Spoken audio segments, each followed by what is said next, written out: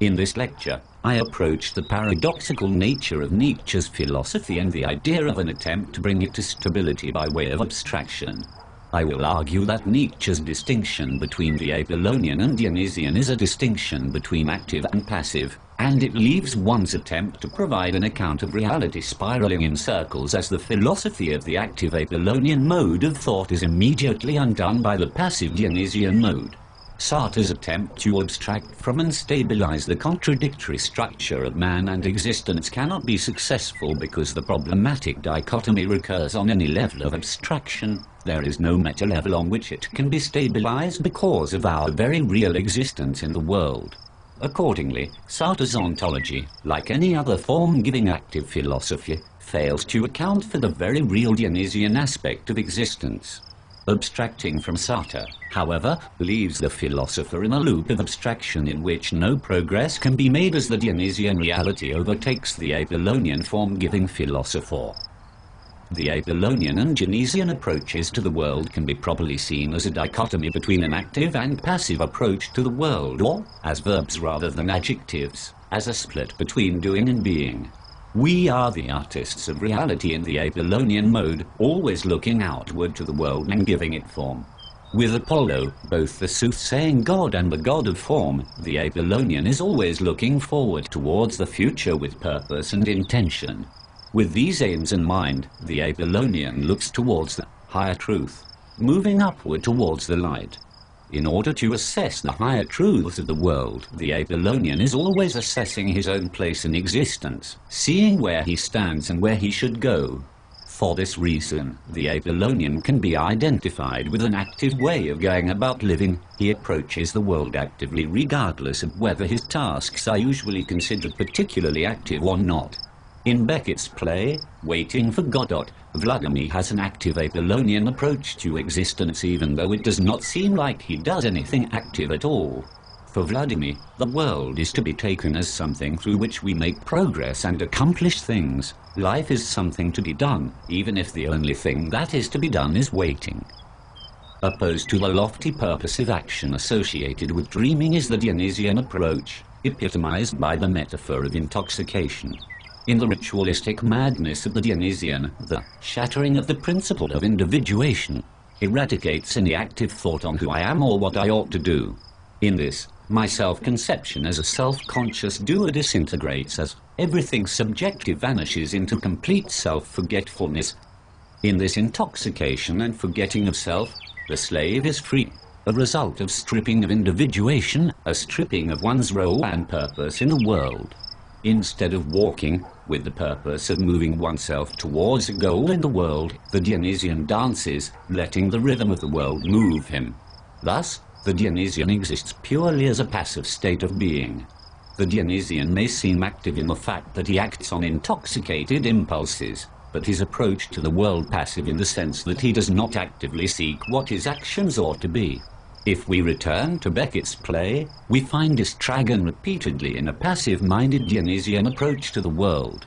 He repeatedly loses conception of goals or tasks, ready to leave the spot where he is to wait for Godot, until, of course, he is reminded of the task of waiting by Vladimir and returns, at least momentarily, to an active mindset. The Apollonian and Dionysian approaches to the world have their respective and radically different notions of reality which correspond to whether one is giving form to the world or immersed in it. Apollonian reality contains form and individuation, divisions and classifications among things. The Dionysian world has no separation as this principle is shattered. Nietzsche describes a primordial oneness of nature, a unity between all things, free of form and individuation, revealed in the thrill of intoxication of the Dionysian mode. In his description of the two modes of existence, Nietzsche maintains that the Dionysian world is more real, as the sense that it is only appearance glimmers through the Apollonian world. When we conceive of the dichotomy of active and passive as one between doing and being, it is clear where the distinction of Apollonian existence as mere appearance comes into play.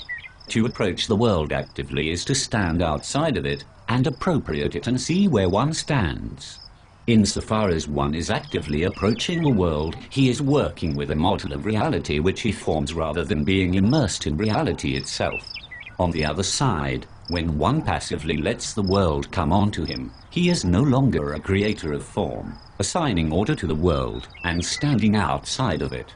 Rather, he is now included in the painting of existence and not involved in the active process of being the artist and maintaining the form of the piece. In this, he is no longer an artist, he has become a work of art.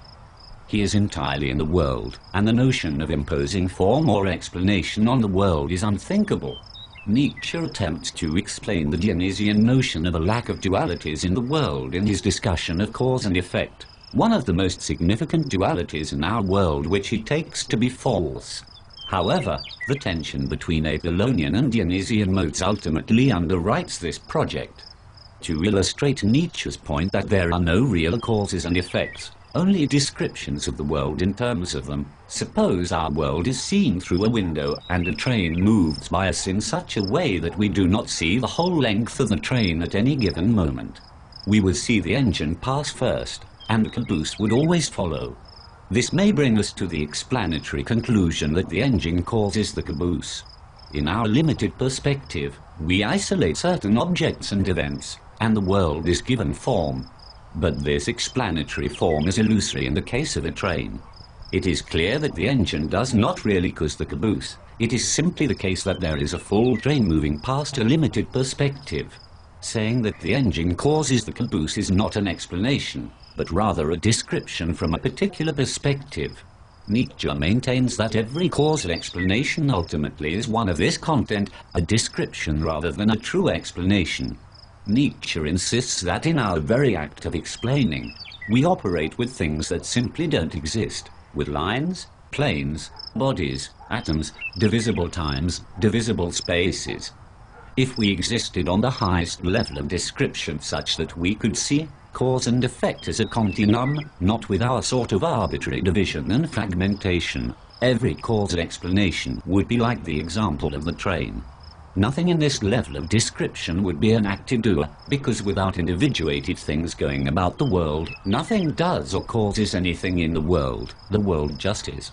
Accordingly, this stripping of causality is a stripping of the Apollonian notion of actively doing altogether. It is at times of pure Dionysian influence that we exist in this werness, this lack of isolated form and causality, we see the whole train as a unity, rather than an ordered multiplicity.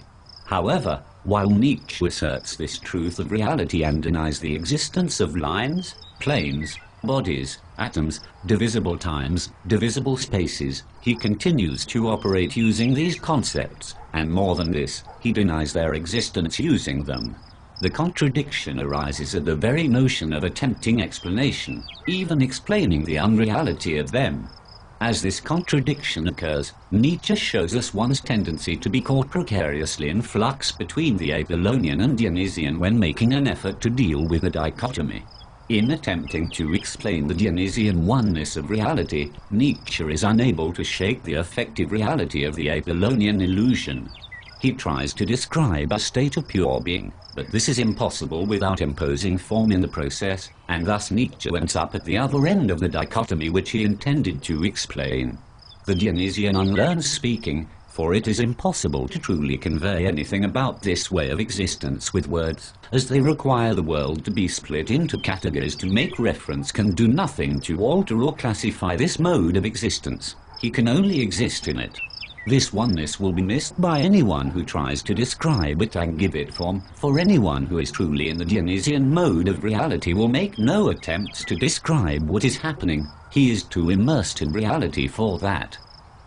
A related situation is described of the realist who looks at the world through his Apollonian filter of appearance and human contribution in describing the world entirely in this way.